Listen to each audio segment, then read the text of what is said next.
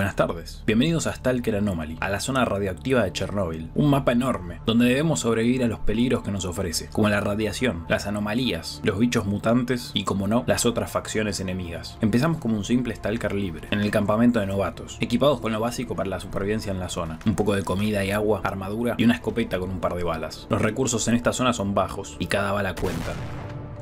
Luego de lootear la casa principal, crucé la calle de Barro para hablar con Fanático, que tenía unas misiones básicas para nosotros. Nos iba a enseñar a cazar jabalíes, que se encontraban enfrente del campamento. Pero antes de ir a pegar tiros, fui a hablar con Wolf, que tenía más misiones para mí, y bajé por una escotilla para hablar con Sidorovich, el comerciante del campamento, vendía armas, armaduras, recursos básicos, pero además tenía misiones para mí. Las misiones al principio son muy importantes, para ganar rublos. Luego salí de la escotilla y me preparé para mi primera aventura en la zona. Salí del campamento principal, acompañado por tres hombres realizar mis primeras misiones, todas enfocadas en matar bichos mutantes. Los primeros se acercaron, jabalíes, y empezaron los disparos. A los escopetazos, los jabalíes cayeron, y de esta forma la primera misión estaba cumplida. Los cadáveres eran looteables, podíamos sacar carne de ellos, pero íbamos a necesitar un cuchillo mejor. Tenía otras dos misiones, así que con mis tres compinches nos dirigimos hacia la zona, pasando un puente donde había anomalías, estas anomalías son peligrosas. Si te las llevas puestas, puedes explotar o prenderte fuego. No joda esto. Luego del puente, radiación. La radiación es peligrosa. Más adelante llegué a una encrucijada. Tenía una misión a la izquierda y otra a la derecha. El lugar era como una parada de autobús, que pude lootear para sacar un par de cosas. Y luego doblé hacia la derecha. Pero escuché unos disparos. Eran mis compañeros. Nos habían atacado unos perros. Y uno de ellos murió. Fanático. Nos veremos en otra vida, amigo. Y un poco más adelante escuché más disparos. Esta vez no eran bichos, eran enemigos. La zona no es muy amable. Cada paso que das es un peligro.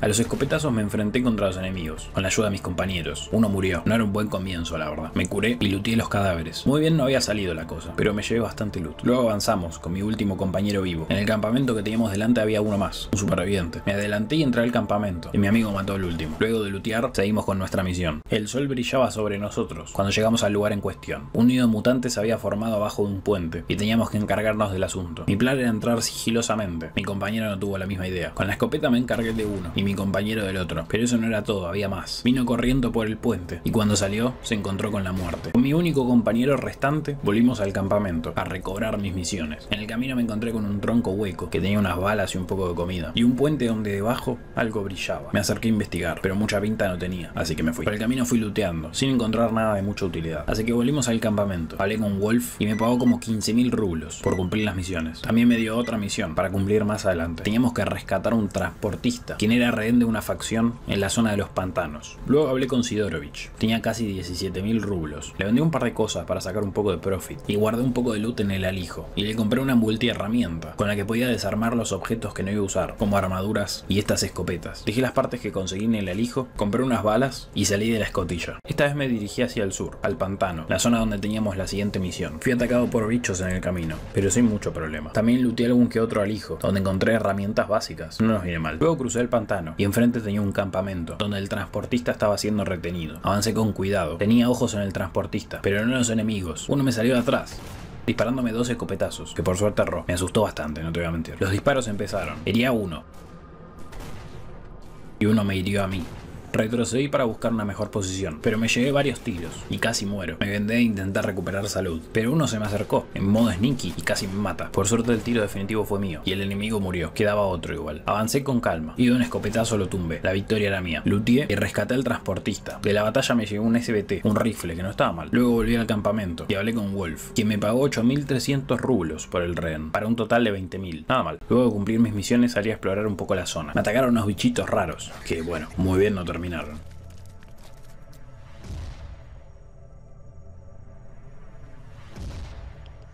Esta vez de la encrucijada seguí de largo. Quería llegar a la granja, pasando el puente que tenía una vía de tren. Primero paré en ascensor, a ver si luteaba algo de interés. No, seguí de largo. Enfrente tenía el puente, destruido por algún motivo desconocido. Una zona que vio muchas batallas, sin duda. Había algo magnífico en este puente, y a la vez escalofriante. Después de cruzarlo llegué a la granja, otro campamento, con gente amigable. Adentro saludan ruso.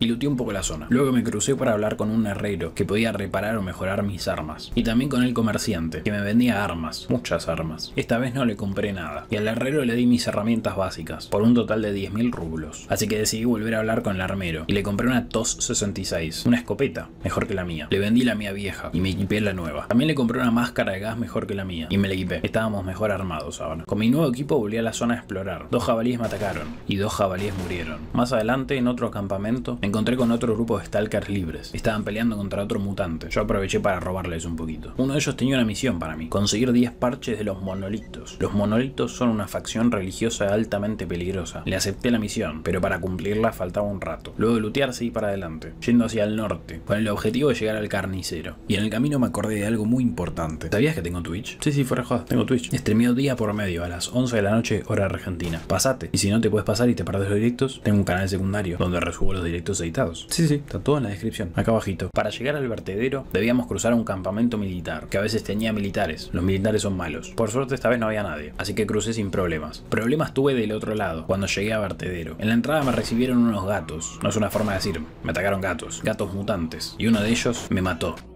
Sí, así de fácil. En este juego morir es algo que vas a sufrir muchas veces. Por suerte no es permadez, por lo menos no el modo en el que estoy jugando yo. Así que reviví, en mi último punto de guardado, justo antes de enfrentarme a los gatos. Esta vez salí preparado, y cuando atacaron los gatos, los maté. Dos balas, dos mutantes muertos. Los luteé y seguí adelante. El vertedero suele ser una zona con muchos mutantes, así que fui con los ojos bien abiertos. Pero se ve que hoy tuve suerte, porque no había nadie, y pude llegar al campamento del carnicero sin mucho problema. En la puerta había unos bichos dando vueltas, que se estaban enfrentando a los guardias. Les di una mano, y me de uno de ellos. Luego entré al campamento y después de lutear un poco, hablé con el carnicero. Al señor le vendí las piezas de carne, que las compra más caras, y le compré un cuchillo de caza para desmembrar animales más grandes de los que ya podía. También le compré 30 balas de escopeta, que las vendía más baratas, y le acepté unas misiones. No eran misiones difíciles, eran de caza, había que matar a bichos. Justo enfrente del campamento tenía uno, pero la zona estaba vacía. Bueno, más o menos. De la nada me saltó un perro y casi me mata. Mi puntería, tengo que decir, no es la mejor. Estoy fuera de práctica. Seguí buscando mis presas, debían estar por acá. Y de hecho acá estaban. Justo enfrente estaba el bicho que estaba buscando. Así que lo perseguí. Me llevó a dar un par de vueltas. Y después el bicho murió. Supongo que por esa explosión que acabo de ver. Volví a entregar la misión. 6.000 rublos. Ya había hecho casi todas mis misiones. Así que decidí volver al campamento principal. A buscar más. Tranquilamente fui al campamento. Y llegué a eso de las 5 de la tarde. Todavía tenía un par de horas de luz. Para hacer un par de cosas. La noche en este juego es peligrosa. Y lo recomendable es no salir. Le acepté más misiones a Wolf. También de cacería. Y bajé a hablar con Sidorovich. Me di cuenta que no le había aceptado las misiones principales del juego. Porque sí, tiene historia. Me dio dos misiones. Que aparecían en amarillo en el mapa. Las misiones principales. Pero las dejaría para más adelante. Por ahora me iba a enfocar en las secundarias. Para reunir dinero y mejorar mi equipo. Así que junto a dos camaradas nos dirigimos hacia el objetivo. Apenas salimos, nos cruzamos con un campamento. Donde se suponía que estaban los bichos que teníamos que cazar. Aproveché para lootear un poco la zona. Pero no había nada muy útil. Y tampoco estaban los bichos. Dimos un par de vueltas hasta que los encontramos. Cayeron rápido. Eran frágiles. Y continuamos a nuestra siguiente misión. Pero en el camino nos encontramos con tiros. Bandidos. Que nos querían matar. Con mis compañeros llamamos a las armas. El tiroteo no fue del todo limpio. Pero al final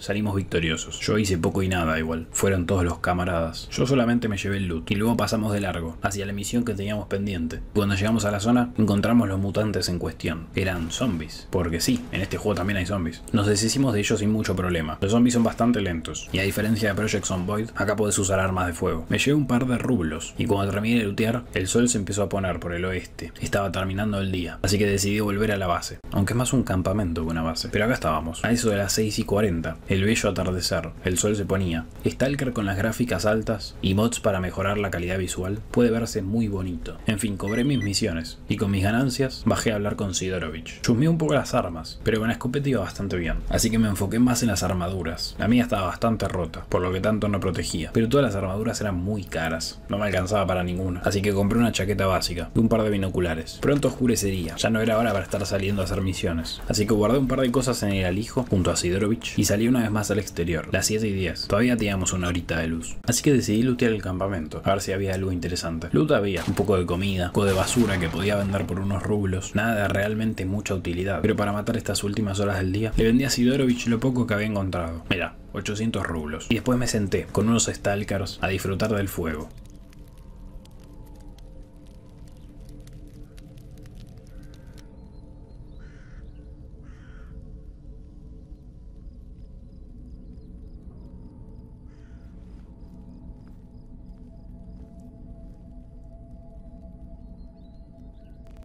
Cuando ellos sacaron los malvadiscos y el reloj marcó las 8, supe que era hora de dormir. Así que bajé a los búnkeres y me acosté en un colchón en el piso, a dormir hasta las 6 de la mañana. Amanecí al día siguiente, con sed y hambre. Una emisión había pasado durante la noche. Una emisión es un fenómeno climático que ya nos tocaría ver en algún momento. Es bastante espectacular. Comí y bebí y luego salí al exterior para afrontar el que sería el día 2 en la zona radioactiva de Chernóbil. Pero eso sería en el próximo video. Gente, gracias a todos por ver como siempre. Un saludo y nos vemos la próxima.